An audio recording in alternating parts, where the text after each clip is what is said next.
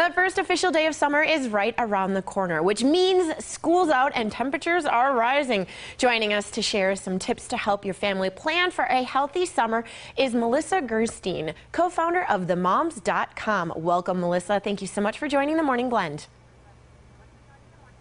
Thank you, and go Wildcats. I love Tucson. All right, Wildcats. I know I cannot believe that even though school is out here in Tucson, it's like the Wildcats are already prepping for mm -hmm. the mm-hmm. school year. It's unbelievable.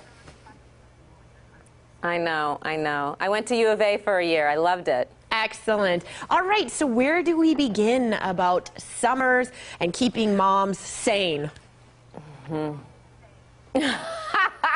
well, that's never easy, but uh, being prepared is really key. So a lot of time families go on road trips in the summer. So the new Evenflo Platinum all-in-one car seat keeps kids safe and comfortable. They have an Outlast Performance fabric, which actually was developed at NASA, which is amazing, and it actually helps regulate the baby or toddler's temperature. So you're not constantly turning over and checking on your kid. And the other thing is they have these great buckle pockets so the metal doesn't get hot, which I bet a lot of families in Arizona can relate to. When your car seat gets so hot that metal, and I actually burned my little one once. So moving on, summertime is like a big time for parents with potty training. And so Pampers Easy Ups, they are fantastic. They absorb 25% more, so you're not pulling off the road all the time, which will make everybody's road trip more comfortable.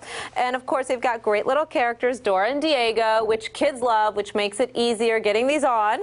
And then, you know, families need to stay on a budget, and there's not a better time to start. So start with breakfast in the morning. Malt-O-Meal is delicious, it's affordable, and there was a recent taste test that showed that people actually loved the taste better with Malt-O-Meal over regular post cereal brands. And then finally, you guys out in Arizona can totally relate to sun care. I mean, you guys never see rain, or barely, and this is great. They've got every single brand you would ever love at Walgreens. They're on like every corner. They've got the sports brands, the baby brands, the naturals, the organics. So you got to be prepared and you got to protect your skin, which I'm sure everyone in Arizona can relate to. I'm crazy about it. I'm always spraying my kids literally like every hour.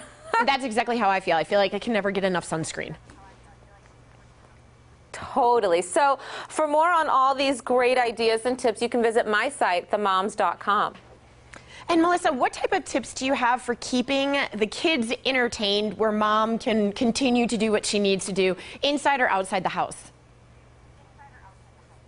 Well, you know, what might be nice is set a calendar and kind of look at the week and maybe take, you know, Monday we're going to go to the library. You know, that's free and that's inexpensive and it keeps our kids reading in the summer. Maybe the next day we're going to create some great lemonade stand outside. You know, maybe Wednesday is going to be pool day. Maybe Thursday's play dates. Maybe, you know, the next day it rains and you got to do stuff inside. So baking and cooking is always fun.